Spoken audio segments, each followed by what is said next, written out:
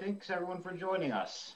Uh, my name is Matt Johnson. I am an attorney at Cooley LLP, um, and we are really excited to be doing this um, this virtual event uh, in coordination with EdTechX. Um, so I'll give a brief kind of overview of what we're going to be talking about for the next hour and a half, a brief overview of Cooley, um, and then we're going to jump right into our, our rapid fire conversations. So first about this event, uh, we have five really fantastic uh, investors that have joined us today. Um, and what we're going to be primarily talking about is the trends that we saw in uh, US tech investing uh, and, and a bit how that compares to the EU and UK um, in 2020, and then predictions on that for 2021. Um, and um, we're going to have a series of one-on-one conversations with each of the investors to start things off, probably around six, seven, eight minutes each, uh, depending on kind of a variety of factors, one of which will be your questions. Uh, we want this to be as interactive as we possibly can. Um, so at any time, if you have a question, please submit it through the platform. Um, we can see that um, as they come in, so don't feel the need to wait. Send it any time that you, you think of it. And um, we will maybe get to it during these one-on-one conversations, if, particularly if it's for an individual investor. Um, otherwise, what we're going to do is once we've had those short one-on-one conversations, we're going to try to spend the bulk of the time uh, in a group setting discussing amongst ourselves as well as uh, continuing to engage with your questions um, uh, as we go. So hopefully we'll have some some good frank discussions, some mild controversies, hopefully to keep it interesting and um, uh, and a lot of fun. Um, so to kick things off, uh, just uh, have a few things just to say about Cooley, just to kind of let the audience know who we are and what we do and, and why a law firm um, would be you know interested in an event like this. So um, Cooley is a uh, global uh, but Silicon Valley originated law firm, and because of that, we are you know heavily heavily involved with uh, uh very high growth companies from startups to IPOs and the um, venture and private equity uh, firms that are most interested in them. That's really across uh, industries. Um, one of the things that we do have, though, that is, we think, really unique is an education practice. Uh, and we have blended those, you know, that startup focus, that emerging companies focus with a, a deep level of expertise in the education space to develop this sort of industry focused practice or sector focused practice on education. Um, we have two, we think, really fantastic resources for startups that are interested in the space, Cooley Ed, which is uh, generally US focused, but for companies that are interested in starting to operate in the US education market, it gives a sense of the policy, legal, regulatory, other aspects, uh, business aspects of operating in the US. And then our Cooley Go platform, which is our general and really robust uh, tool for startups looking to, to build and, and to grow their business from um, uh, form generators, uh, really quick hits on raising capital, bringing in early employees, protecting IP, um, both uh, UK and US, and now Asia versions. Um, so, you know, uh, a little bit about us. We obviously think we are the top tier firm for um, venture capital, um, for startups, um, and for companies that are looking to to make um, you know an exit, uh, whether it's an M and A or a PE exit, um, and, and, also a, a very strong public markets practice as well.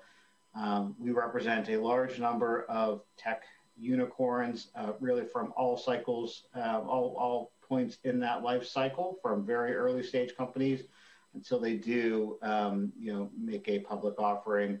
Uh, including a few of which are that are in the education space, a, group that we hope is going to be growing in the next year or two, and, and one of the things we'll be talking about here today.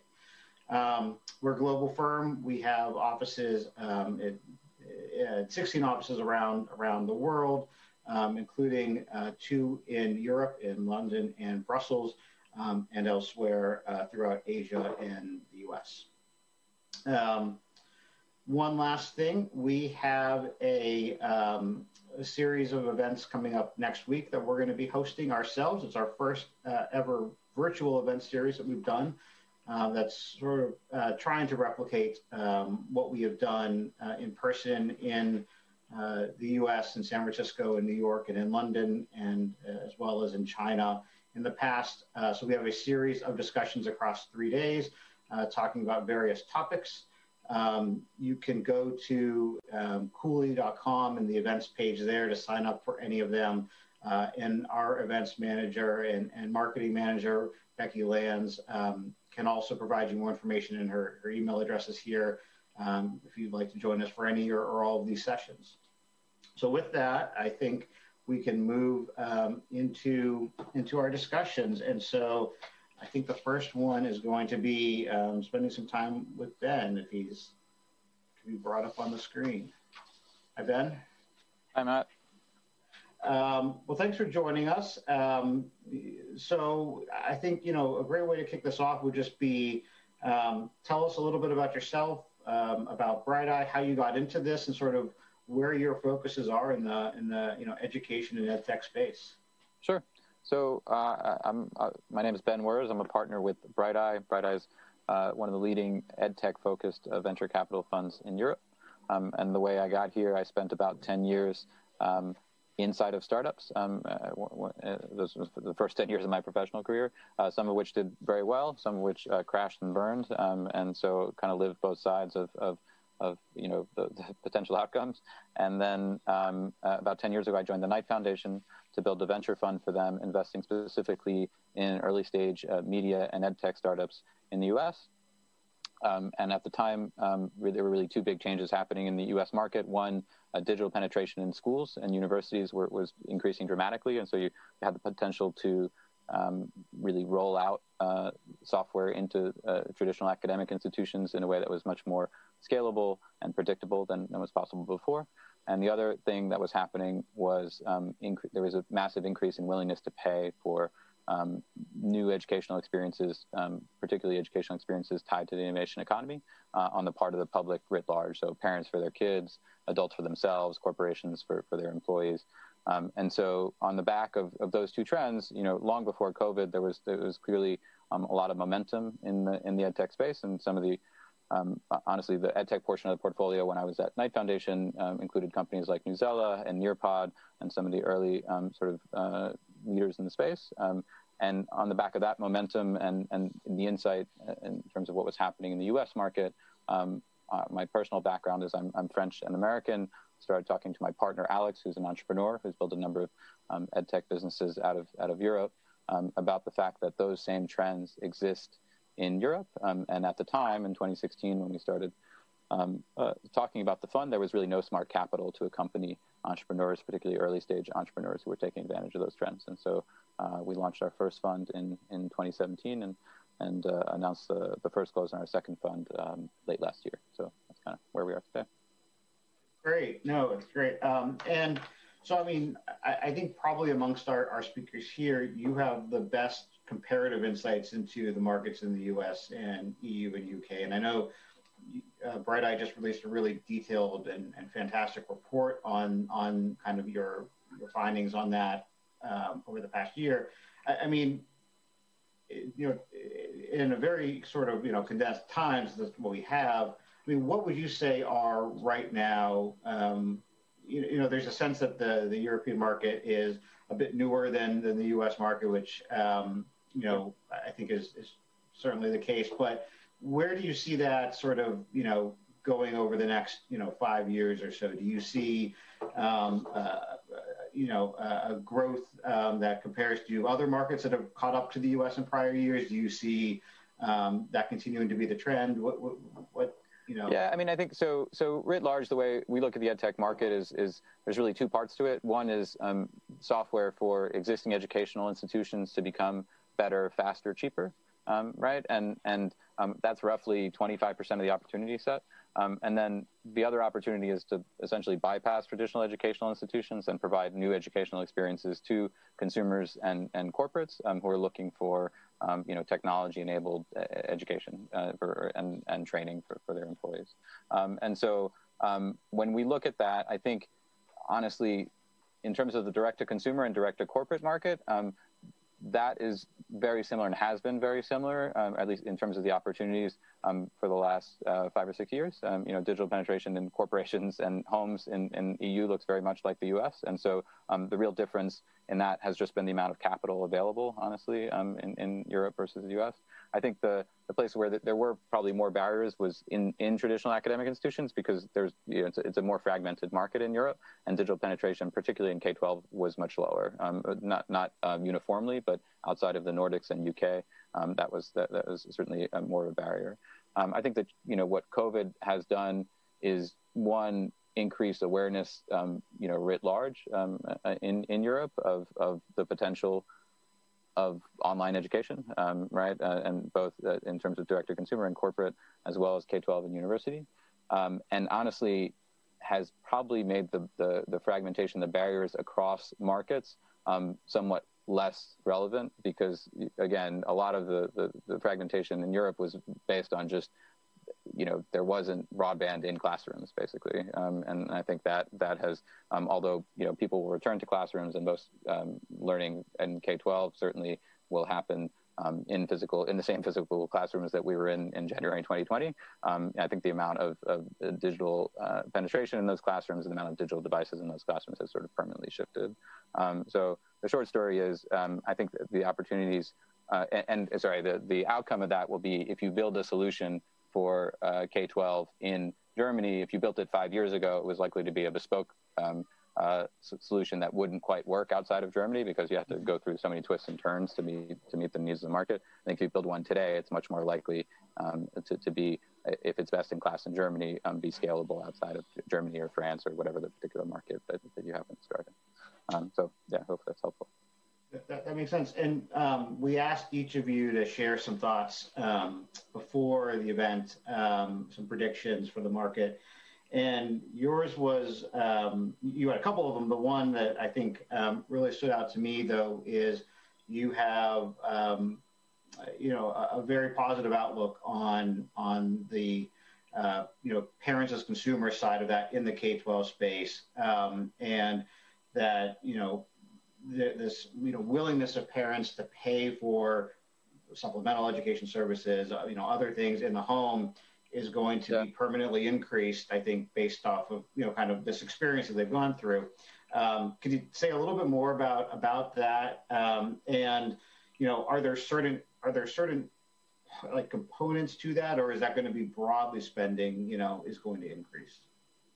Yeah. So again, just from the uh, European perspective I mean, I think the, the knock on Europe to some degree was are European customers really willing to pay for educational experiences because, you know, public education um, uh, is, is such a, a, big part of, of the way people learn here. But honestly, um, the big difference happens in higher ed where, you know, higher ed is, is cheaper um, because most of it is free. Um, actually at the, you know, in terms of K-12, um, there's a high willingness to pay, and largely an equivalent willingness to pay for supplementary supplementary educational experiences for kids, and potentially even higher because the, you know in in Europe. Um, you're much more test driven, right? Like there is there is a single test in, in many European markets that uh, determines whether or not you go to university, and so the willingness to pay to help kids pass that single test, even more than you know the SATs or whatever the equivalent is in the U.S., is is, is higher here. So uh, the short, uh, I guess um, one thing, one key takeaway is actually there is long before this just a strong willingness to pay for supplementary educational um, experiences. And what's happened now is people have just become much more aware of um, the fact that a lot of those supplementary education experiences exist online. Um, and you know, I think my view is on both sides of the Atlantic. You know, most kids have two or three hours after school um, where you know which is taken up by TV and video games and and you know uh, sort of uh, screen time, I guess more more broadly, um, and and um, the awareness that parents now have that that a chunk of that can be spent um, educationally, um, I think has just grown dramatically. Um, and because again, there's this pre-existing willingness to pay for supplemental edu- edu- supplemental um, educational experiences, I think you know the, the crossover of those two things, and that effect will be you know you'll have um, things like Outschool, but uh, a lot of you know in, in, in a lot of different sort of verticals and a lot of uh, serving a lot of different interests um, that proliferate again on both sides. That makes sense, and we just have um, a minute or so left. Um, just one one question um, to go on, the other side of it you know, there's been, I think, a view that generally the pandemic is, you know, rising interest in, in ed tech generally, but as we know, ed tech is kind of a very amorphous term and can mean a lot of different things.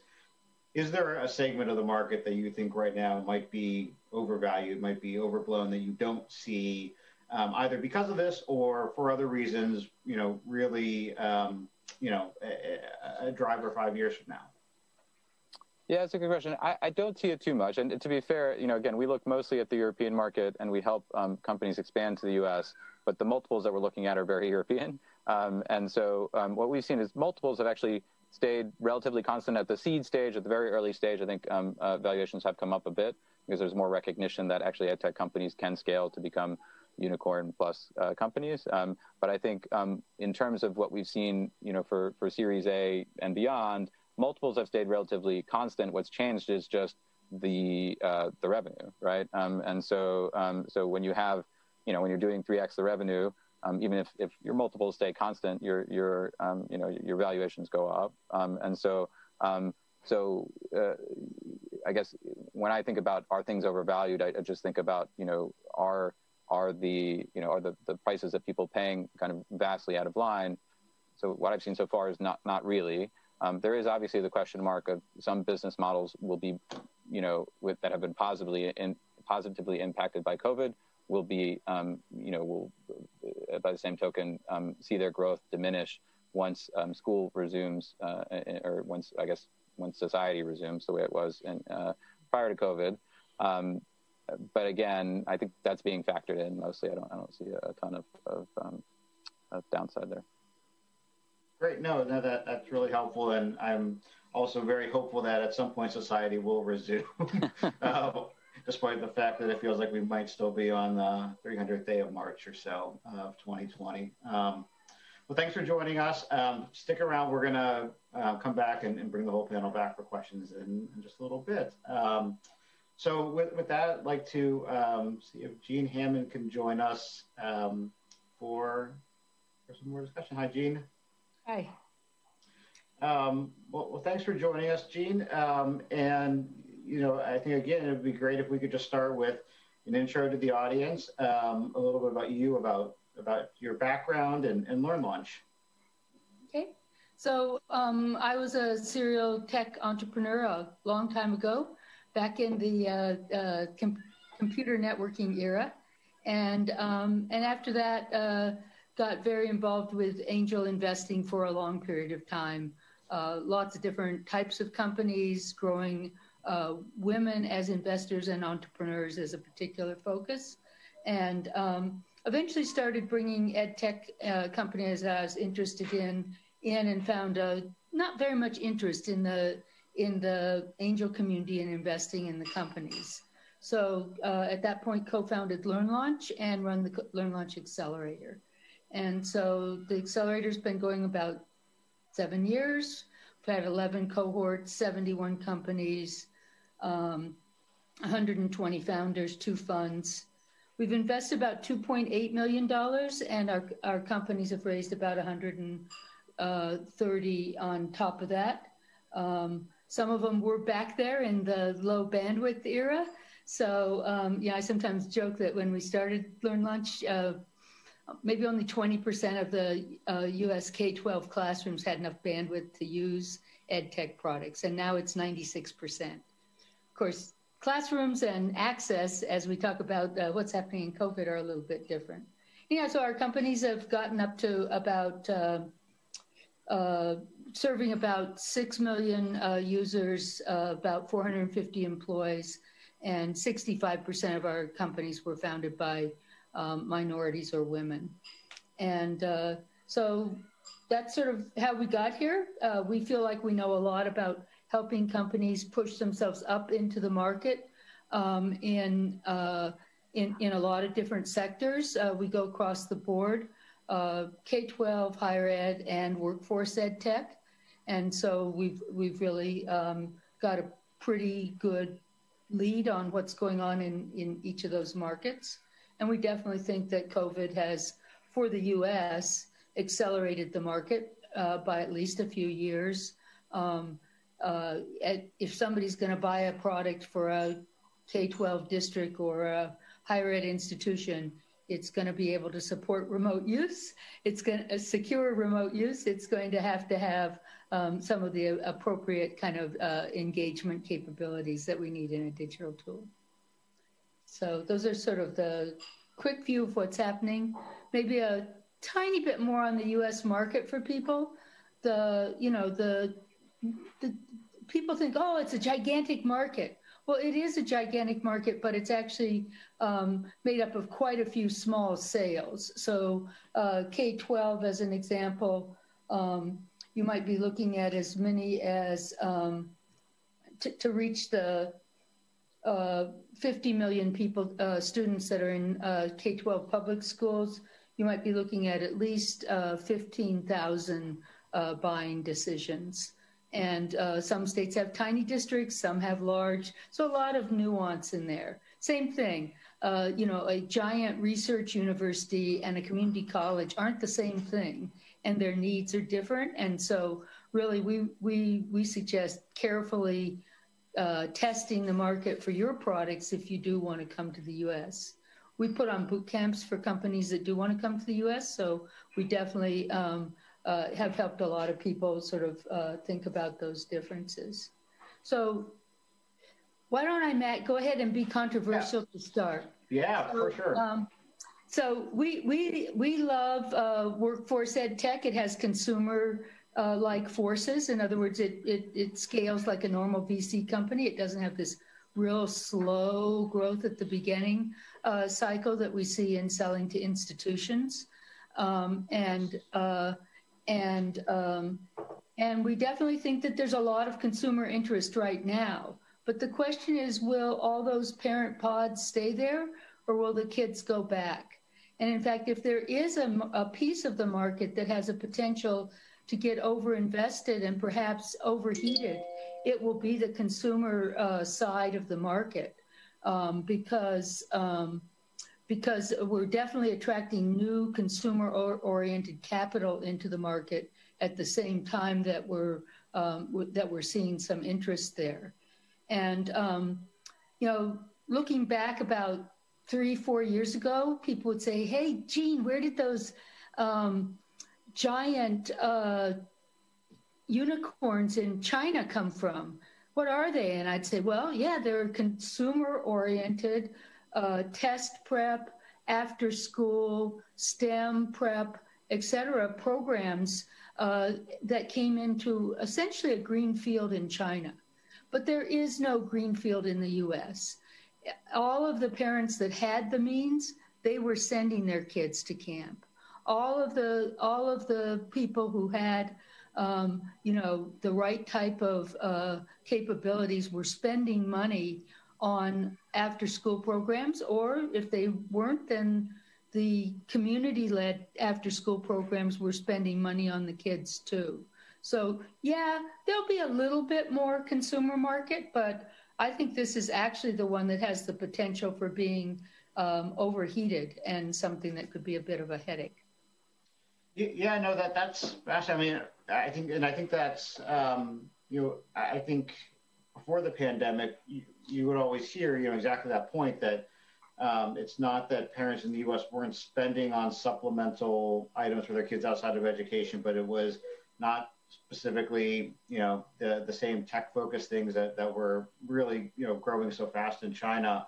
So your view is once once parents can have their kids back in camps and soccer and bands and things like that, that's coming back. It's not going to be necessarily the, the apps. I mean, I think so. If you and your grandfather both went to the same camp, you probably want your kid to go there, mm-hmm. right? Mm-hmm. So I just, I just think that the, I just think that we're going to see, um, yeah, we'll see a little bit more education focus in the, in the toys and the games, but, um, we were already spending money on toys and games, right? So uh, yeah, and the cost of a consumer eyeball in America, oh my goodness, let's not imagine that it's free. Particularly a parent eyeball after COVID. Right now, you can probably get parent eyeballs. They're desperate for anything, but uh, but uh, but who knows what, what it will look like a year from now or two years from now. Right, right, and so in the short amount of time we have left, you know, I, I mean, I assume you're a bit more um, uh, optimistic about the the workforce and adult market for consumer coming out of this. Um, yeah, I um, think, I think that the the I mean, higher ed has to get its act together and get pathways to employment um, pretty fast, or else we'll be over in a boot camp world. And um, and and yet at the same time we should be uh, careful. Whenever you're thinking about anything in education you have to think about the regulatory environment. And so um, there's no way that the current administration is going to say um, trump university is an approved product so um, so so there some classes of boot camps that are trying to get to uh, you know uh, Pell grants or other things like that won't won't be able to get there. So, um, so, so there'll be a mix of issues that are going on as we try to keep quality up at the same time that we that we make things easy to use and um, maybe less um, painful user interfaces some of the current higher ed world. Right. I mean, because right now, how we assess quality is the value of the credential you receive and sort of just the, the, the goodwill and brand recognition that that comes with that. Um, so if you try to, um, but but that's not really based on actually having skills, right, that are necessary to outcomes. I, I mean, what do you think it'll be? Do you think it'll be re-envisioning credentialing? Just uh, how does that gain more acceptance to unbundle that? Well, I, I, think we're I think we're relatively early in the full unbundling of credentials. Um, you know, we'll keep seeing more and more specific ones show up. Um, you know, Cisco certified engineer is certainly a, a global calling card. Um, but but but uh, but maybe more importantly, we'll start to see a, a deeper blended mix of what we're trying to assess. So some of the places that that there's uh, sort of interesting hard work to do is on human skills assessment, understanding, you know, how are we on critical thinking? What's going on on uh, collaborative and teamwork capabilities of this person I'm thinking about employing? Or, or maybe instead an environment where we're using um, an AR or virtual reality or artificial reality um, learning environment. How do we collect assessment data out of that? So, you know, so I think we've got a, I think we've got a lot of uh, basics to do as we, as we drive in a deeper understanding of sort of what I would sort of say is the whole, the whole ball of wax for for education, and um, and and we'll definitely and and I and I I think we have to force change all up and down the system. That's why I do what I do is because you know, we need to make it easier for um, for for all the kids to get a great education, even if their parents can inf- can't afford, um, you know, really expensive after school programs, and uh, and and yet we we will see some change out of all of, of all of that part of this of the industry. No, that makes sense, and I, you know, it, it is exciting that we're still so early in this, um, you know, transformation that we, we, we think is, you know, really, um, you know, upon us now. Um, well, well, thanks for, for joining us again, Jean. And um, again, we'll be back. Um, keep um, uh, bringing in questions, and we'll have Jean back as well at the end. I think for now, we're going to move on to the next conversation, which is with Vicki. Um, hi, Vicki. Hey, Matt. How are you? Well, thanks. Good. Um, well, again, thanks for joining us um, uh, to, to, talk for a bit. Um, and I think by this point, you know, let's, um, yeah, uh, tell us a little bit about yourself, um, about uh, what you're what you're doing at Pearson, and uh, kind of you know how how 2020 has been from from your eyes and and um, you know how that sort of you know impacted your thinking going forward. Sounds good. Um, so uh, before I joined Pearson, I was a banker and technology investor. Um, and I joined Pearson about four years ago, and I have two roles there. One as an investment director at Pearson Ventures, and I also lead our strategic partnerships for Pearson's North America business. Um, and so, you know, just background on Pearson Ventures, we launched a fund in 2019. Um, our predecessor fund was a, was called the Pearson Affordable Learning Fund, and we were making kind of more direct delivery investments in emerging markets. And the goal of Pearson Ventures is to really you know, align with Pearson's broader business. So we're looking at geographies like North America, UK, Australia, um, China, Brazil, and, and South Africa and we're making investments that line up with um, where Pearson's core businesses are. So kind of higher education, professional learning, assessments, um, and employability space, and also English language and learning. Um, you'll remember maybe a couple years ago, we divested our K-12 business. So that's been less of a focus for the fund. Um, so let's see, in 2020, uh, you know, we are also a strategic investor, so we're also thinking along the lines of you know, what is going on at with Pearson's business and kind of what we're seeing um, ourselves. Um, and so, you know, some of the things that have been catching my eye are, um, you know, I think that broadly COVID is accelerating um, trends that are already happening in edtech um, and, and, just giving it a boost. Um, so, you know, unsurprisingly, you know, we're seeing that online instruction is, is going to grow along with the tools that enable it. Um, this year, a lot of instructors had to rapidly, or last year now, uh, but continuing into 21, um, instructors had to rapidly adapt to teaching online and, and, typically with video conference tools that didn't help them transition well. Um, and so we've started seeing the emergence of online synchronous learning solutions, um, some of them that are proprietary solutions from online um, first companies. Um, and, and those, and there's some companies that are trying to see if they can kind of license it for third party use. Um, and, then new companies are emerging to try to meet this need where video conferencing is not you know, directly matching up what the in classroom experience would be.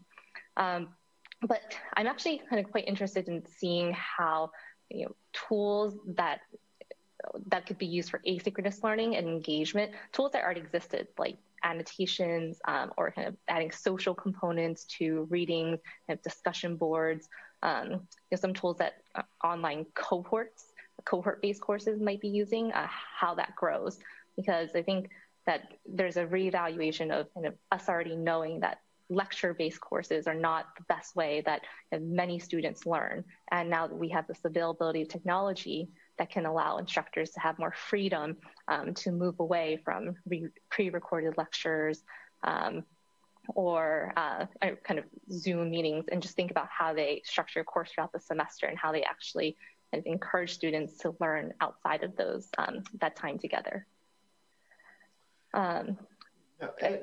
No, that, that's great. And, and uh, by the way, I, I, still also feel like it's 2020. Uh, January January 2021 felt a lot like 2020, um, but um, hopefully we're now beyond that. Um, um so, uh, so uh, well, I mean, one question I have within higher ed um, mm-hmm. is, um, you know, so we have kind of these competing interests here, right? That I think both uh, Ben and, and Jean talks about, which is this urge to sort of um, you know, reform and adapt higher ed to meet this sort of evolving, you know, needs and expectations and, and seeing things that weren't working, as well as this trend to sort of kind of shift things away and, and outside of it, right? And kind of having this, these non-traditional forms of, um, you know, uh, obtaining skills and obtaining uh, employment,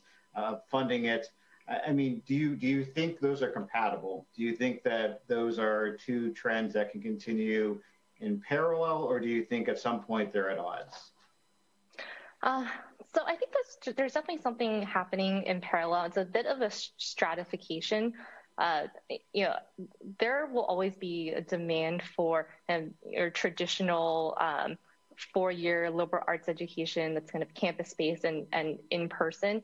Um, and that you know, meets the needs of a specific subset of the population. And I think, you know, with four-year school, college, uh, kind of being a little bit or increasingly out of reach for many Americans, um, you know, that might be a solution for a subset of the U.S. market. But I think in a in a population where um, students weren't seeing a return on a four-year degree, um, or you know, that they're not matching up what they're learning with the ability to get jobs and actually develop skills that employers are valuing. Um, you can see that kind of breaking away and, and, and you know those i think those schools and institutions are going to be the ones that are most vulnerable um, you know I, last year in 2020 we, we heard a lot about how a lot of schools are going to fail and they weren't going to make it because they were in a financially precarious situation um, i think we're still waiting to kind of see um, what what happens there and certainly in 2020 where you know, traditionally when you are in an economic downturn, a lot of people kind of run to higher ed and hide out there um, un- until it's over. Uh, and you know, I think outside of international students in enrolling courses, that actually didn't happen. Um, students who wanted the campus-based experience deferred, and, and they're going to wait till they can go back. Um, and otherwise, you know, students who may have otherwise gone to community college or four-year schools, I think ran to credential based programs instead. Um, and so, you know, I, I, think exactly what Gina was describing, like those things can happen at the same time. Mm-hmm. No, that, that makes sense. And um, one of the questions that we've actually received a couple of times has been about making um, higher education more affordable, more accessible. Do you think, I mean, do you, do you have thoughts on, um, you know, the models that we see out there now, like ISAs and in other ways to try to reform how students fund their education? Do you think, um, I mean, do you think those are long-term solutions or, or still too early to tell? I was actually thinking about ISAs a little bit earlier because um, they it, it is a bit of you know financial engineering, and you have to get the timing of the payments back just right for it to be sustainable. Um, and so, in an economic market where students are not getting jobs kind of right out of the gate, um, you know, we have to wait to see how long of a gap um, schools who use ISAs can, can wait before payments start coming back. So I think that that's a question mark for, for me. I'm curious where that lands. Um, but you know, one one thing that I think could bridge affordability um, and and the and the credentialing by traditional institutions is that you know institutions are starting to brand their own boot camps or short-term programs, um, and I think that can be a way of having an, a, um, a more affordable alternative to a four-year degree that might where you might be able to see some uh, grant and federal loan money being used. that, that, that makes sense. Um, and then just briefly, sort of in the in, in the minute we have left. Um, I, I, know you, you, have all sort of um, gotten out of K 12 um, recently, uh, but do you have a sense? I know we've talked a little bit about kind of competing views on the consumer K 12. You know, do, do you think, uh, are you more aligned with Jean, who thinks that's kind of potentially over overheated, or that, that that might really have long term demand coming out of this? Oh uh, man, I I unfortunately am not a parent. I don't spend a ton of time um, in in the K twelve no, no market, pressure. but um, but I mean, I I guess I also see that as kind of a you know a tale of you know two um two different markets. You know, Jean's saying that the U.S. market it seems big, but you actually kind of break it down to these much smaller ones. And so, you know, I think there will likely be robust demand from a you know subset of consumers who have the capital to do that, but it's not a widespread solution for many Americans to pay out of pocket for kind of supplemental education. Great, great. Well, um, thanks again for, for joining us, Vicki. Um, like I said, we um, uh, will be coming back very shortly for, for a group discussion. Thanks. Um, so I think next is George. Hey, George.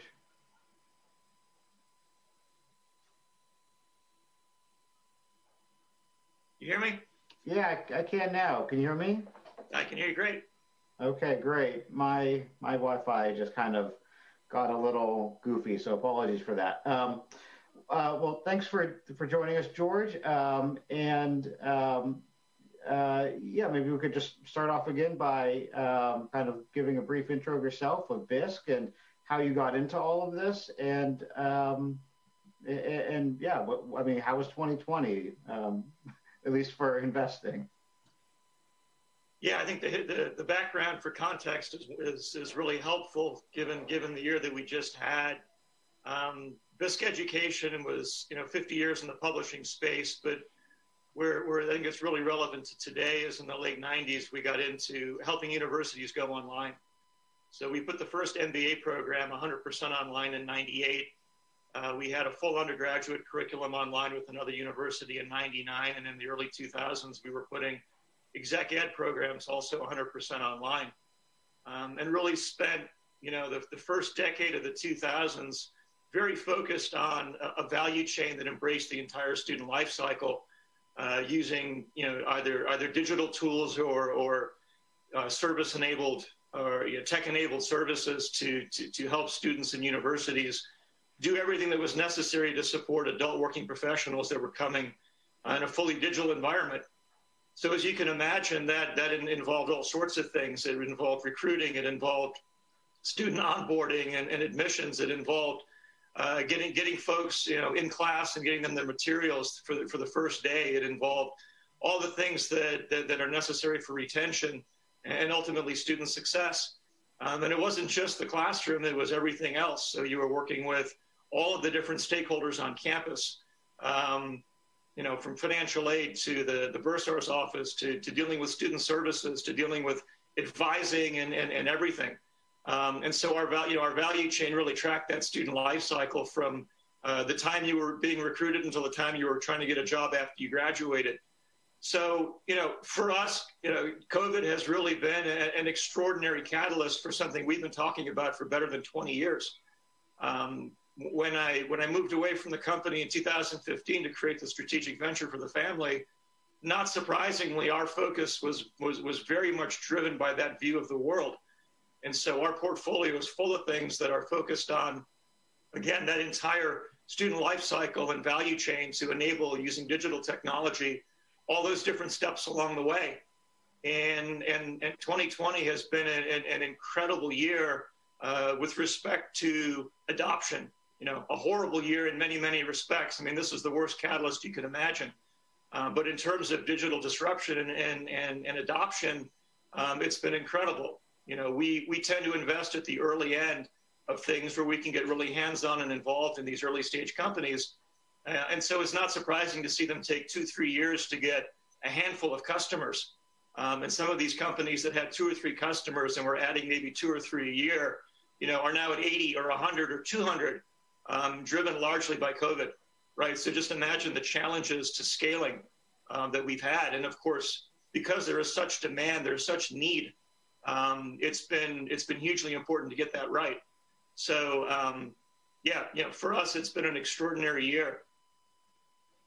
And and so that that catalyzation that we've seen this um, uh, the um, you know acceleration of trends that you know I think uh, many of us who have been kind of focused on the space have been anticipating. Do you think, I, mean, so hopefully, um, you know, over the course of, the next year or so, things, you know, get back to some, some form of normal again. What are the trends that you think, uh, what are the pieces of that do you think are, are the stickiest that are going to continue that, you know, that acceleration or that strong growth in the higher education space, where do you think these these changes are most likely to be, you know, permanent or or long lasting? Yeah, I think you know we've. I've been an apologist and an advocate for, for digital adoption by universities for, for 20 years. So for me, this is not sort of the, the latest thing. This is a kind of on a, we've been on a continuum for half of my career. But I do think that a lot of the things, you know, across the life cycle that are really beneficial to supporting not just students, but administrators and faculty and everything else, I think a lot of that, because of the kind of the length of the dip of COVID into into forcing everyone online, I think a lot of that will stick. Um, I don't think there's a commentator in the U.S. today um, that watches the post-secondary segment who's not, you know, sort of admitting that we're going to be in this this new hybrid world uh, forever, right? So if you look across our portfolio, any anything to do with creating platforms around student engagement or providing access to data or you know allowing us to do um, any any number of things again ac- across the student journey, not not just in the classroom.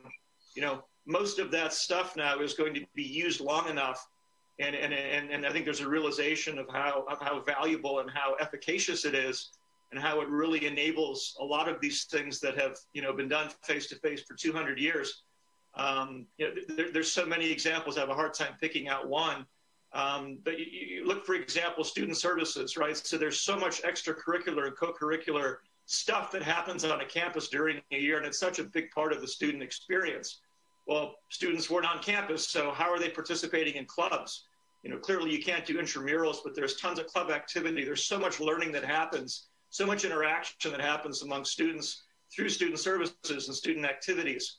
And, and so we're, we're invested in a platform out of Florida that you know, has, has enabled this and provided a, a back end for student services for years. Well, suddenly they were called last summer into, into service to help with orientation because orientation was now digital and there was no, no platform to do that. And so suddenly they're an orientation platform and suddenly all the speakers and all the student clubs and everything had to have a place to live, right? So they went from, I think, around 75 customers to now they're close to 300 and growing fast right? I think that is reflected in our portfolio, and I don't think that goes away. I think once these different departments, you know, are, are given the budgets and given the latitude, indeed the, the demand to, to bring these digital technologies alongside to serve these students, I don't see that ending because it, what it does is it provides tremendous access to data, uh, tremendous access to tools to, to do their jobs better. And I think, you know, our experience is once higher ed adopts something and gets very comfortable with it, then it becomes very sticky, especially software that, that really, really helps. So I think it, it gives the stakeholders a lot better view into um, what's happening with their constituents. It, it, it, makes their jobs easier. Um, and I think it, in many cases, it's really proven to be much better uh, than the status quo. One of the great, you know, one of the great challenges we saw to adoption was not that the software couldn't do better things. It was simply that you didn't have the time, the resources, the budgets, uh, the support from IT, and all those sorts of things to make it happen. COVID COVID made that a, a fait accompli, and so, we see a lot of that sticking long term. Great, great. Um, last question um, uh, with, with, the time we have left. Um, for uh, most of our audience are, are, are um, you know are from Europe or the UK, and you know maybe considering um, you know what it takes to enter into the U.S. market. Um, and we've talked a lot about the fragmentation and you know, you, you made the point of enormous kind of acceleration in, in how um, companies may be attracting new customers. What is your, you know, one or two points of, of top line advice for a company that's just looking to break into the market in higher ed right now? Yeah, I mean, we're we have a lot of uh, domestic investments, but we have investments in Europe, we have investments in, in in Southeast Asia. I would say that student efficacy digital digital driven student efficacy is universal. And so if you have a, a, an extraordinary product that is really focused on a challenge, uh, a, a, crack in the sidewalk of the student journey, and you're really solving for that and doing it well, um, there's tremendous opportunity for you here. Again, there's not a commentator in our space in America that's not talking about, you know, technology being, you know, the new climbing wall or the new, you know, the new lazy river students are going to be making decisions uh, where to go to school based on how well universities are providing a hybrid experience. You know, even if it's still a face-to-face campus experience, they're going to be looking at digital technology. Again, not just for classroom, but for everything else. And that's going to become a major differentiator for universities. So it doesn't matter if you're in Singapore or if you're in London or if you're in Paris or if you're in Barcelona or if you're in somewhere in the MENA region, if you're building really, really extraordinary software that's providing efficacy somewhere along that student journey, um, you're engaging students, you're, you're increasing retention rates, if you're improving data views, if you're helping with decision making, there, there's a market for you here because every university is going to be looking to compete in this way. And in fact, they're going to need to, right? And, and that, that is, I think, the, you know, the, the legacy of COVID. Great. Um, well, thank, thanks, George. Um, appreciate you joining us today. And um, uh, I think now we're going to move on to our, our last but not least panelist, Ian, um, who will be joining us uh, from Owl Ventures. Hi, Ian. Hi there. It's good to see you. Good to see you. Um, so yeah, I think by now, you know, you, you probably know the drill, but yeah, give us give us your kind of, you know, high overview take, you know, how you got here, a little bit about Owl um, for those who don't know, and, and just sort of what you know what you saw in 2020. Yeah, so a little bit of background on on Owl Ventures. You know, we are the largest edtech fund globally that's focused uh, specifically on the category. Uh, we're now managing over 1.2 billion dollars across five fund vehicles. Uh, most recently, we raised two fund vehicles uh, in the pandemic uh, last year, uh, wholly through conversations like this on Zoom. And we're investing out of the Fund Four and also our Opportunity Fund. And typically, we're investing anywhere from early stage all the way through uh, $50 million in growth stage companies. Um, so that ranges anything from you know, seed investment uh, checks into companies like Workera, uh, which we did alongside Andrew Ng and the AI Fund, all the way to uh, large scale uh, growth investments into companies like uh, Masterclass or uh, you know, and everything in between. Um, most recently, we've uh, you know been in the last few years uh, expanding uh, internationally uh, as well, and so. Uh, in Europe, we have an investment in a company called Labster, uh, which many people are likely familiar with, has been very successful. And we recently just announced our first investment as well in in Africa in a company called ULesson, which is delivering digital education across across Africa. Um, so, uh, you know, as a firm, we're also focused on uh, everything across the learning lifecycle. Um, so you can think about us from early childhood, K-12, higher ed to career and, and lifelong learning. Uh, we have about 40 plus portfolio companies now um, uh, across uh, across all of our funds uh, at the moment.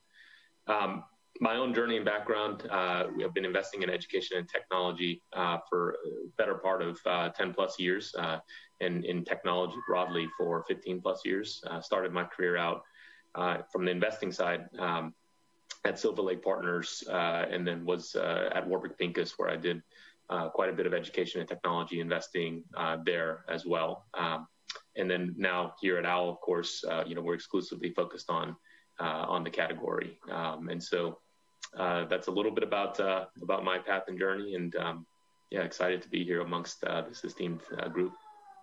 Great, thanks, Ian. Um, so um, maybe first I'll ask you a little bit. I mean, you guys have been so active um, during this time where there's been a lot of you know uh, we've seen at Cooley you know some some significant sort of changes in in the deal terms that you see and and what market is on things like valuations and multiples in the education space.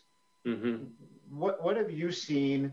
Um, kind of how that compares, um, uh, you know, to, to pre-COVID, and where do you see sort of the, the market going with that? Um, you know, you know, as we hopefully come out come out of this and, and move to some sort of new normal. Yeah, I, think Ben actually at the top of the conversation said it well. Uh, you know, which is that the underlying performance of uh, you know, many of these companies, uh, you know, has frankly improved dramatically. I mean, we've seen that in our own, um, you know, portfolio. It's just that, you know, the companies are three, five, 10xing, uh, you know, through the pandemic, um, you know, in terms of users, engagement, revenue, all of the operative metrics, uh, you know, that investors care about. Uh, the, the other thing is that, you know, if you sort of think about pre-pandemic versus versus current and hopefully post-pandemic at some point, uh, just the the friction and um, sort of rate of growth uh, is markedly different. Um, and so I think that's something as well that you know as investors kind of consider certain categories. If you went back uh, and even when I started investing in, in education back in really kind of 2008. Um, it took companies a long time, uh, you know, to actually get to scale uh, because they had to navigate uh, lack of infrastructure in the market. They had to navigate, uh, you know, difficult sales channels. Um, it was very, very hard actually at the time for any smaller companies to uh, rapidly grow. And so that's also baked into how investors think about, uh, you know, valuation and, and what, um, you know, is, is sort of exciting for them. And so I think now, kind of post pandemic or, or, current pandemic and post pandemic in the future, uh, a lot of that friction has been removed um, or at least uh, ameliorated in terms of uh, companies. And, and, we've seen that now uh, that, that young companies can actually uh, scale pretty rapidly. And it's not only the ability to, to, to scale uh, more quickly, but then it's also the, the actual TAM itself and the addressable TAM, you know, has just gotten meaningfully larger.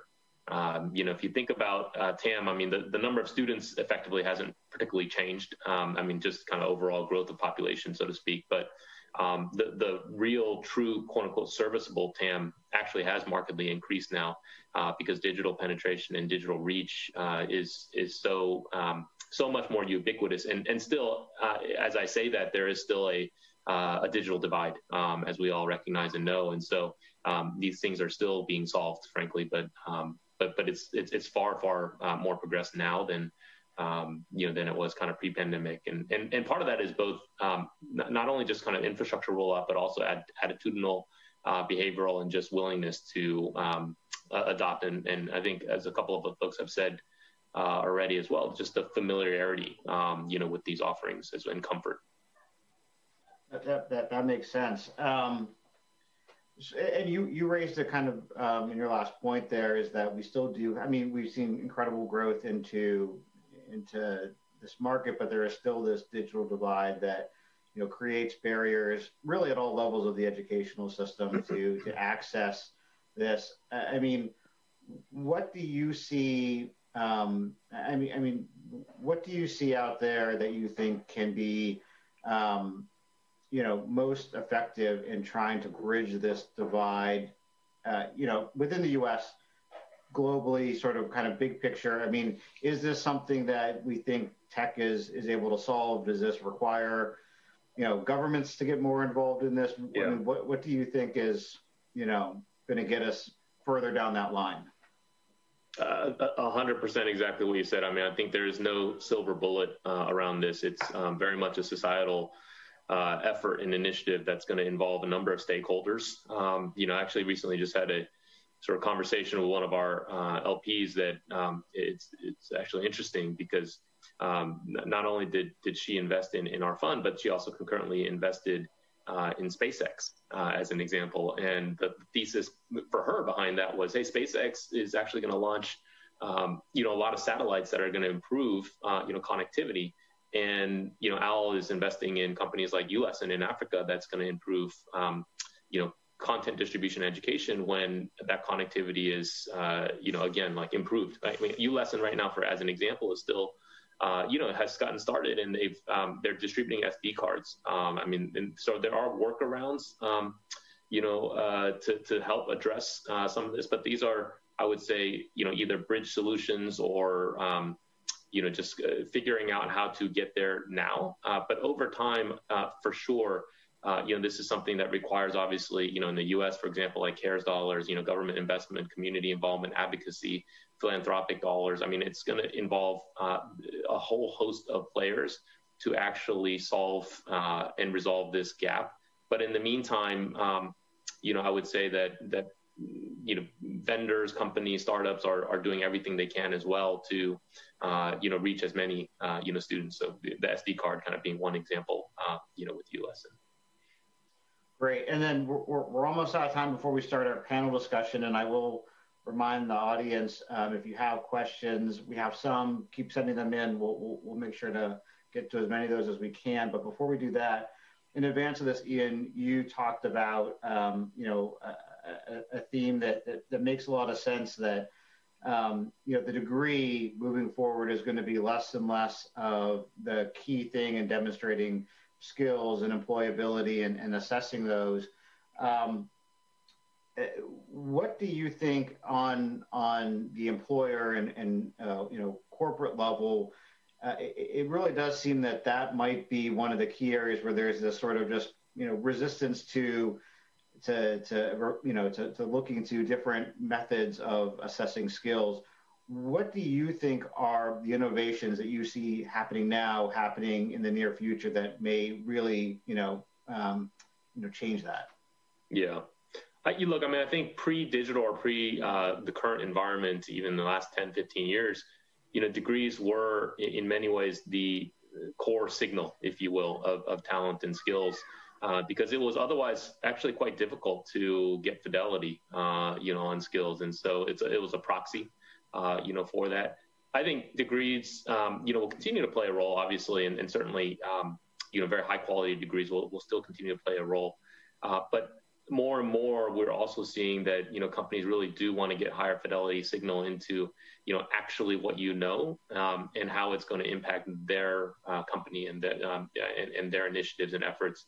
And so, um, you know, we, we uh, we've invested in uh, a couple of companies that play along these lines. So Degreed, uh, you know, is certainly one um, in the LXP and skills market, upskilling market that uh, spans actually both U.S. and European markets as well as um, you know Asia Pac, and and they do uh, effectively a great job of uh, you know skills inventorying, um, identification of skills gaps, and really helping to bridge uh, you know those skills within enterprise employees. Um, another uh, recent company we invested in uh, is, is, a company called Workera, uh, W O R K E R A, and they're specifically focusing in on assessment and benchmarking of skills as it relates to AI uh, data.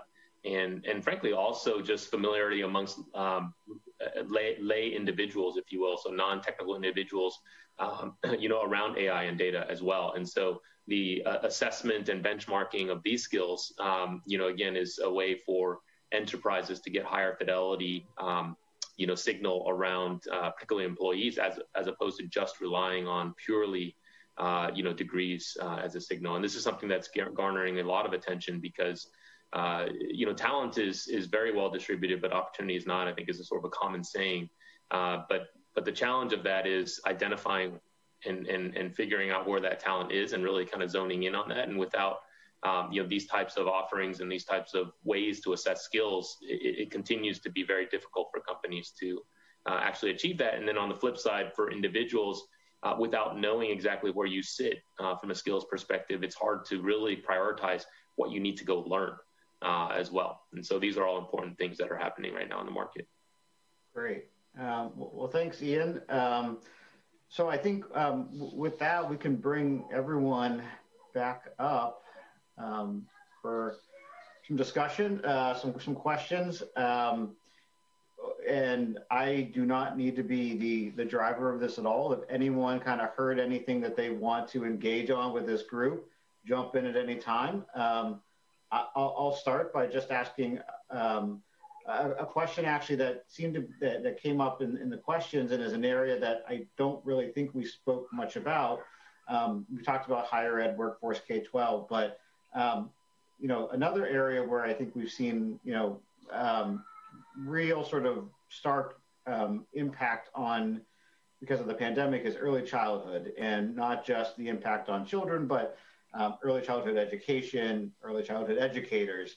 Um, you know, what do you see in eh, for for those of who are kind of in, in, involved in that market or focused on it a bit?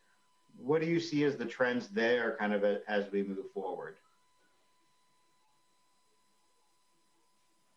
Um, yeah, I mean, we haven't done too much investing in, in early uh, childhood. I was my my my uh, brother recently had his first child, and I was saying that actually the pandemic not a bad time to have a first child if you know medical issues aside because you're basically confined anyway for the first uh, couple of months. And so so um, as far as I think I think there has been um, uh, uh, you know there there are certainly more digital um, opportunities available for early childhood learning.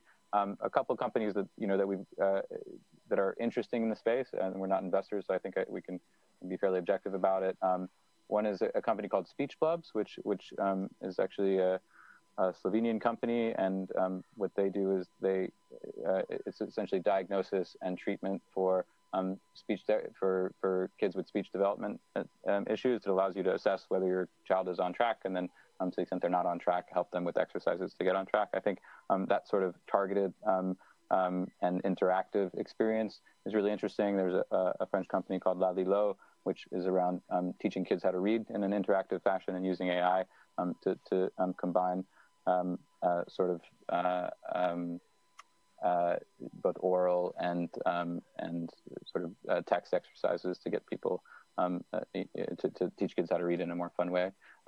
my sense is is you know, that the pandemic itself maybe has increased people's awareness of, of that. But I, I think of the, the spaces that have been affected, um, maybe a little bit less so um, than, than everything else. Um, uh, uh, you know, I, I, think there is still some reticence on the part of parents to, to just, you know, sit young children in front of screens for long periods of time, um, which is which is quite understandable. Anyway, that, that you know, I don't think I don't think it's going to be t- t- intense screen use. I think it's going to be a better understanding of what are we trying to achieve with our screen and book or whatever time.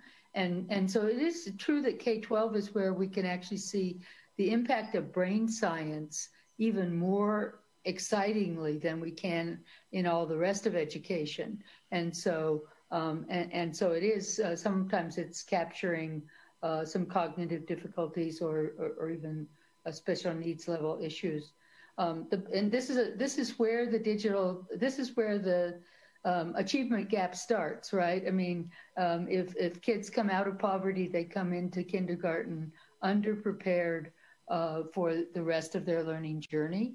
And so, you know, the myth is that a dollar spent in early childhood education is uh, is equal to seventeen dollars spent later in education. It's probably true, but it's such a scattered market. It's really hard to think about it as business, and so um, um, so so just a just a kind of a difficult area for um, for seeing, particularly here in the U.S. market.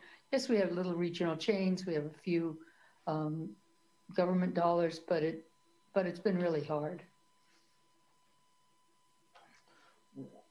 um, changing gears, one of the things that I think we had heard a lot pre-pandemic was, um, you know, the importance of being near the capital you were seeking, the importance of being in Silicon Valley or in the centers of, of, where you're seeing um, this go. And there's always been a resistance to that, but I think that that has really obviously been, um, you know, uh, made, you know, at least temporarily clear um, uh, about sort of how deals can get done over Zoom, how geography becomes less important.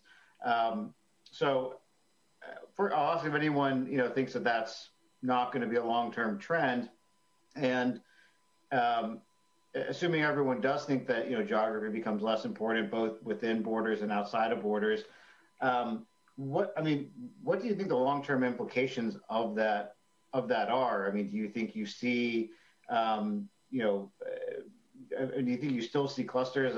Some reason, people in VC here keep talking about Miami, which seems um, to be, you know, uh, people are going to just gather in new places, or is this really just going to be, you know, more kind of like this? So I'll start and I'll say that, you know, Pearson, we're a multinational company. Um, and, you know, even pre-pandemic, we were doing deals across uh, international borders.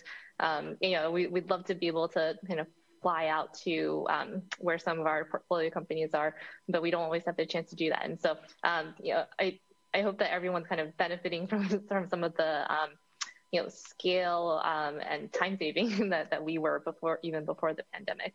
Um, you know, and to Matt, to you know, your question around like, what does this mean for companies? I think ed tech companies will benefit the same way that many other startups have in just you know, having a lower cost base, um, you know, for where their headquarters are, um, and being able to, you know, find talent around the country, around around the world. Um, and one thing I actually seen in edtech um, that you know, particularly in the higher ed space, that a lot of companies end up locating where their first big customer is. So, you know, we see companies in Florida or Arizona because they're, um, you know, have a major research institution that's their anchor customer. Um, and so, you know, I, think being closer to customers hopefully will end up being more important than being close to your investor.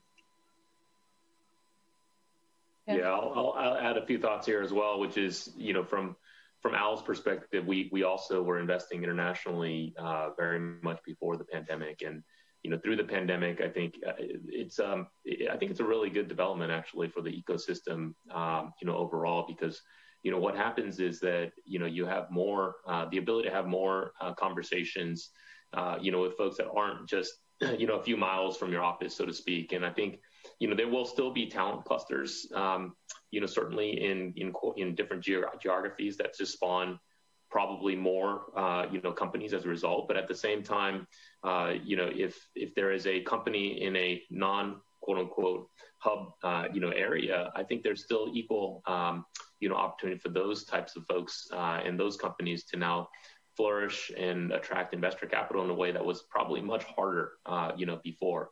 And so o- overall, I still think you'll see a little bit of, you know, there's still going to be more capital deployed in, uh, you know, hubs where there's talent, uh, but you'll, I think, see uh, increasingly, uh, you know, interesting companies kind of pop out of, you know, geographies or cities or regions that, um, you know, otherwise you'd be, wow, like that, that, that's not where I typically would see, uh, you know, companies. And so um, we're starting to see a lot of that dynamic. Um, you know, we're, we're making investments, um, you know, again, around the world, and we have a couple down in, uh, now in Latin America as well that we haven't uh, fully announced yet, but also, uh, you know, again, is quote unquote, um, you know, certainly not in just pure, say, Brazil only, because I think in Latin America, you, people think about, oh, it's got to be Brazil. Uh, but we have uh, an investment that we're making right now in a company that is, is not actually Brazilian focused. And again, in a pre-pandemic world, I think probably would have, um, you know, found it a little bit more difficult to reach the right audiences. So I, think it's a, it's a great trend. I think it is something that will, uh, you know, survive kind of post-pandemic as well. Great. Um, so one one interesting question that just came through. I mean, I think we've generally talked about the fact that um, this pandemic has accelerated trends that we saw, um, you know, happening before and, and, and, thought were sort of going to be driven by other forces anyway. Um, and a lot of things that have been validated over the, you know, that time frame. One year kind of almost, you know, into it, um, what is one trend that has surprised you that, you know, you did not see coming in early 2020 or prior to that, um, that kind of sticks out? You know, I might say it upside down. Um, uh, one thing that persisted that I wasn't sure was going to is the amount of investment uh, that particularly major corporations are making in uh, training and skilling all up and down their workforce. Um, you know, so um, when when um, when hiring was very tight, it made lots of sense that people wanted to upskill an employee that they already had, um, and it and it's not universal, but most of the um, of the major corporations um, have looked at the the cost of uh, spot labor, uh, finding their exact spot labor, and and and having the signals be strong enough. In other words, does that degree really mean that they do that they can collaborate or whatever it is that, that that's important? Um, and so, so I think that what we see is that the chief learning officer is running a university. They're using products like Degreed and other things to, to get a lot of different things, but they're also working on upskilling, you know, a workforce that's in a, uh, you know, warehouse setting or someplace else. So, and, and um, it's also a place where we see really interesting corporate venturing, you know, with Walmart and other people um, in, in the market here. And so I, I, I sort of thought, oh, well, when when there's lots of layoffs and people are going away, maybe that investment is going away. And I, I wouldn't say it's hugely increased or anything, but at least I think it's the, the it looks like that the corporations as a whole believe this is their future. That when 50% of their of their employees say a chance to get more skilling is the main my main uh, my highest desire from a job, then somehow the people are getting on that wavelength together. So I'm yeah. surprised it persisted. How's that? yeah, I mean, just to, to jump uh, or add to that, I guess. Um, I mean, I think um, so. We're invested in in some uh, companies like IronHack, which are um, uh, sort of coding or tech skills boot camps that give you the skills you need for entry level jobs. Those have seen a lot of growth during um, the pandemic, and that was kind of what we expected. We're actually also invested in a company uh, called U School, which is um, uh, training for blue collar um, uh, professions. So things like uh, in France, so cuisine, um, beauty, those sorts of, um, of, professions. And I guess what I've been, so, and, and most of that is paid for directly by by students. Um, and so so um, what I've been surprised by is just the um, the willingness, you know, throughout the pandemic of people to, to basically bet on themselves um, in those trades, which are not necessarily like the innovation economy skills, right? But but just um, you know, people are, are taking advantage of the pandemic um, to basically, you know, they've seen 3x plus uh, growth um, throughout this, and and it's really just um, anything where people have access to education to learn the skills that they want, um, you know, um, and that spans way beyond kind of the innovation economy. Uh, anything that makes it um, both more enjoyable and more accessible, um, you know, is really is really seeing uh, a, sort of a, a, tremendous amount of growth at the moment. And so, so anyway, that that was. Um, uh, a pleasant surprise for us as, as investors, and, and also just kind of shows the breadth of, of what's happening uh, right now. Anyone else surprised by anything? Yeah, Matt, I think that, you know, in post secondary, digital was really, it kind of split down one of two ways. Either you were a, you know, maybe a middle tier, less selective institution for whom digital was perhaps the way forward. It was a core asset and a core focus. And then you would have the institutions that were more on the selective end, that were, you know, well financed, big brands, where it was really, I think, viewed more as a sideshow. It was something you used for, you know, a MOOC, or you used it to do maybe digital skills coming out of exec ed or continuing studies. But the, you know, the core focus of the campus, you know, that 150, 300 year tradition was really focused on that residential experience. And I think that, you know, we, we viewed adoption as really breaking into those two, those two roads um, really for the foreseeable future. And I think the big surprise with COVID was just the kind of the mass 100% across the board adoption. And I think, you know, we're still waiting to see how that shakes out.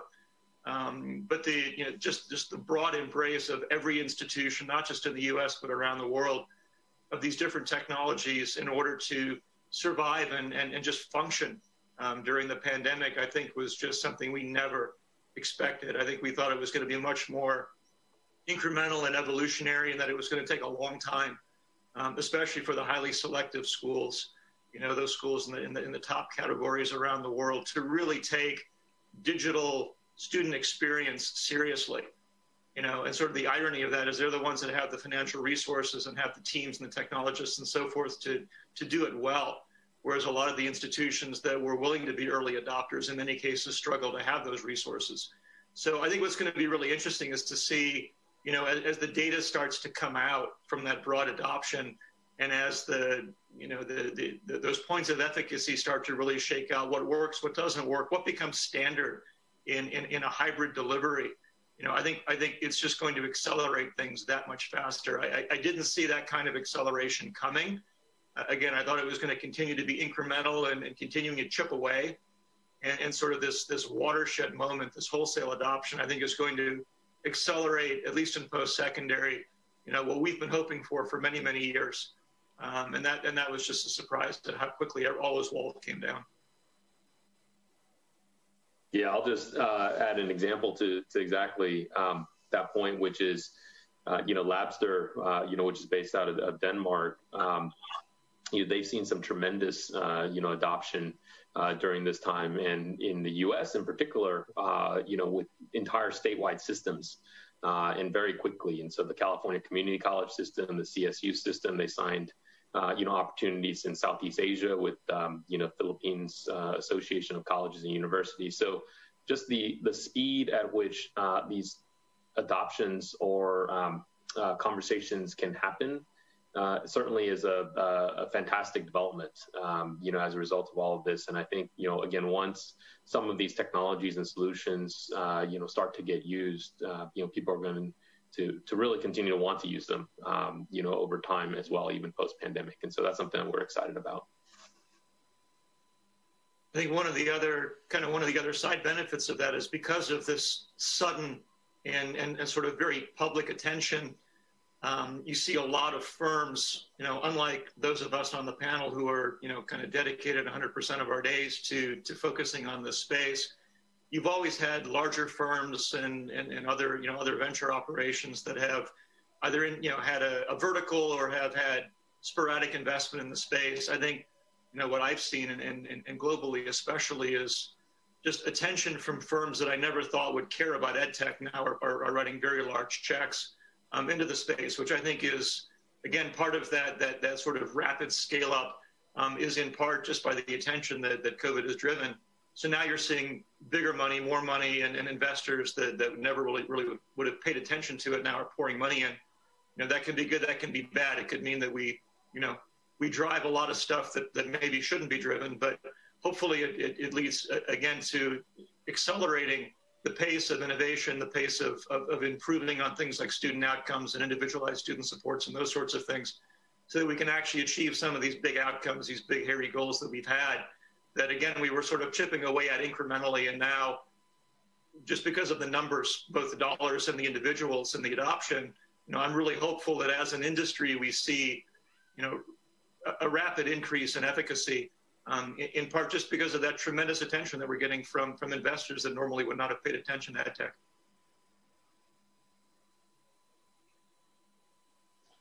Um, yeah, and, and, maybe sticking with that. Um, so, you know, as you've seen, you know, new investors get get more interested in ed tech, it, it becomes trendier, I guess, um, for now with, with, more general investors. Um, you know, thinking back on your experience um, in, in, this market, I mean, what I mean, what is you know one key piece of advice? I mean, I think you said George really well. That, that could be a good thing or a bad thing depending on how that how that all shakes out. What, what's one piece of advice do you have for investors that are just getting into the space that um, you know can, can help them avoid you know significant mistakes in a, in a pretty complex area? Oh, probably willing to share. with somebody on the panel. no, it, it is a complex industry, and and um, people showing up um, often imagine that it's going to be very simple. In fact, we see tons and tons of new startups hitting our um, website and and door every day, saying, "Hey, I'm here to fix education." I like to joke that every um, um, mother, father, teacher, and investment banker in America has a plan to fix education because they've been home with their kids. And so, um, so you know, just you know, don't imagine that it's simple. These are pretty complex systems that we've built up. They're um, uh, most of them have at least some degree of semi-regulation around them, and so um, so really understanding some of the uh, some of the complexity of that market and um, and then uh, you know look, look investing in in edtech startups is like any investing. You look for great teams with great ideas and great market traction. So, yay. I think I think Jean's I think Jean's right on. I mean, we we've had probably a dozen companies in the portfolio that have done follow-ons or subsequent rounds in the last six months, and I tell every one of them, you know, as you're speaking, and, and, and many of those have been led by people that are not traditional ed tech focused investors. And in every case, I've said to those founders, please have them call me and talk to me, um, or talk to somebody who's, you know, who's on the cap table that understands the space, so that there's a very clear expectation of, of how you're going to spend their money and what those outcomes are, um, so that you have, you know, you can kind of quickly bring those folks up to speed. Um, you know, most of the companies in our space, um, especially those that are a little more mature, probably have somebody from an ed tech background somewhere somewhere in their in their in their in, in, in investment communities. So I, I think Jean's actually quite right. I think there are plenty of us that have been in it a long time that are happy to speak. Um, you know, I've talked to some firms that, you know, to Jean's point, have said, "Oh, we want to help change education." You're like, well, some of us have been at that a long time, so let's let's unpack what that actually means and, and what efficacy looks like, um, and and what you know, and and, and let, let's have a let's have a thoughtful conversation about that because it, it's it's not a new thing.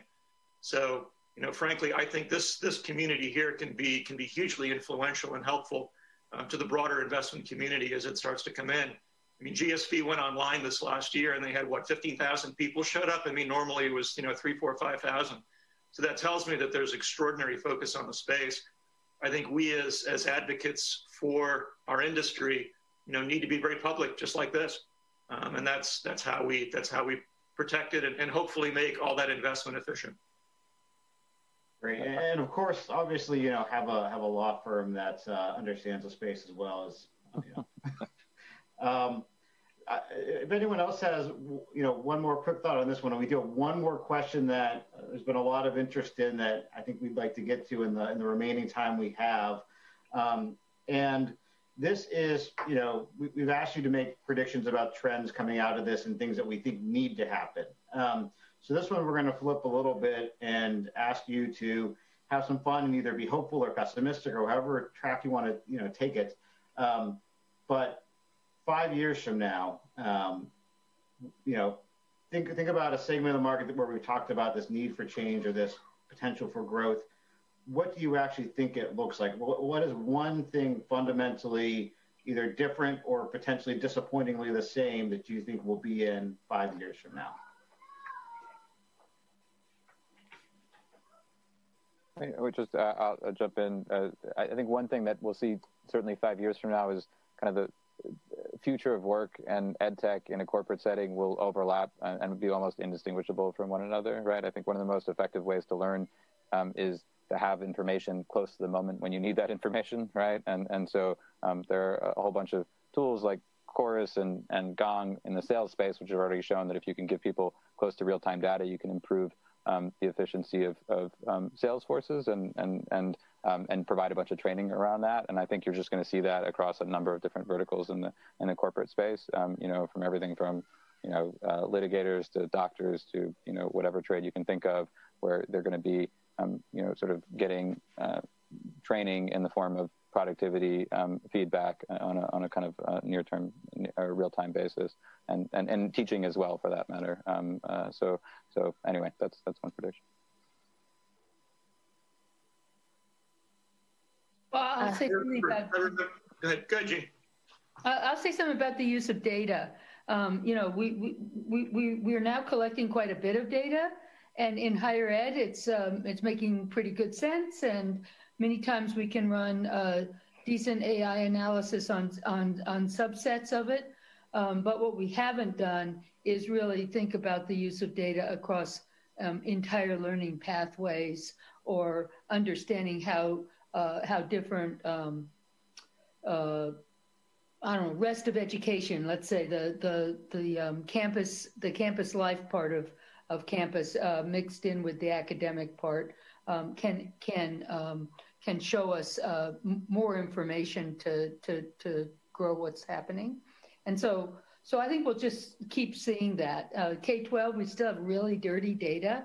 We do, we don't get the fact that the you know the the the reason that the ed tech product didn't work in that school was because all the kids walked to school through a gang area, um, and so so so we just have to get more robust in understanding why we're collecting what data and um, and, um, and and then use it because because that's that's going to be when we really can see what works, what's what has the right efficacy, and um, and, and and get the cost right for what's being produced. So I'm, I'm, not. Oh, sorry. Go ahead. Thanks, Ian. Um, so I'm not sure if I'm, I'm, optimistic on this, but I'd love to see kind of the reemergence of uh, you know corporate training programs that really take responsibility for getting um, you know particularly um, or, uh, kind of early hire employees actually trainable um, and, and, and, get that experience. And I think if employers are you know having thoughts that um, students are coming out of universities without the skills that they need to start a job, that employers will take on the burden for actually providing that training and, and um, giving applicants those skills. I think right now we're outsourcing that to kind of a lot of the um, both technical and non technical boot camps.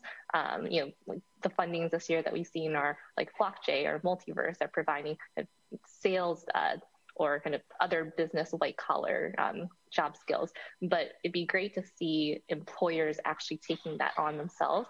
Kind of back when, you know, in the 60s and 70s, IBM was you know doing six month training programs and really expecting employees to kind of grow with within their business.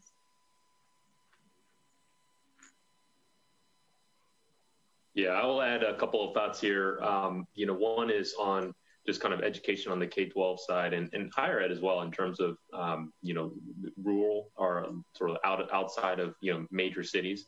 Uh, I think that's going to continue to flourish in the next five years. We, are seeing a lot of companies and a few in our portfolio uh, in in Lilakatang in, in China and then U.S. and as I mentioned uh, in Byju's as well. Um, where that is a, a big focus for them uh, is to help serve communities that otherwise would uh, you know, lack access uh, to high quality education. I think that's only going to continue to push forward um, meaningfully in the next five years. Um, agree with the uh, notion that on the ed, uh, corporate side and enterprise side, uh, you know, more and more sort of, um, you know, learning that happens on the job, skills assessments, as we talked about, and skills identification will continue to have real impact, um, you know, on the enterprise and corporate ecosystem. And then the last thing I'll just say is uh, I, am pretty optimistic and hopeful around just the, um, you know, talent flow that's happening into the sector. And so whether or not the dollar flow, you know, results, um, you know, in sort of existing investors, new investors, you know, success, not success. I think the the, the one uh, the thing that will persist over time uh, is that you know we're just seeing more and more high quality talent, people, human capital talent uh, that is raising their hand and coming into the space. And so, if there's anything that comes out of this pandemic that's going to be a very, very big positive, is the, the number of um, talented individuals coming into the space, applying their experience, bringing their network into uh, the ecosystem. And I think that's, uh, you know, in many ways, what's going to compound uh, the growth uh, of the sector in the long term. And that's something that I'm, I'm very excited to see. And we're, we're seeing that, uh, you know, every day right now, you know, folks reaching out to us about, you know, opportunities in, inside our portfolio that are coming from uh, you know, larger internet companies, technology companies, even frankly non-technology companies, um, and and that's just really exciting to see for us. Yeah, Matt, I'll be super quick. I, re- I remember a time when we talked about internet marketing and we talked about marketing as if they were two different disciplines. And I think you know now you can't talk about marketing without talking about digital marketing, right? It's it's one and the same. Same for education. I mean, we still today talk about online learning and face-to-face learning as if they're two different things. And I, I believe, especially given coming out of COVID, that within five years, it's the same thing, right? Whether it's hybrid, whether it's face to face, whether it's fully online, we're talking about technology facilitating learning. And I think the benefits that come from that, especially with the large data sets, alluding to what Jean was talking about, I think we just get smarter and better. Um, and hopefully it's not this, this bifurcated conversation. It's, it's, it's one and the same conversation and we're all better for it. Great. Well, thanks thanks to each of you for joining us. This has been a great discussion and a lot of fun. Um, and, and thank you to to our audience for joining us. Um, you know, certainly, if we didn't get to your question, if you have follow up, feel free to reach out to to me or the team at edX um, EdTechX for um, you know any any questions you may have. Um, also, if this was of interest to you, Next week, again, Cooley will be doing our virtual event series um, where we're going to do deep dives into investing trends um, and other uh, other key um, uh, you know areas of interest in you know K-12 post-secondary workforce.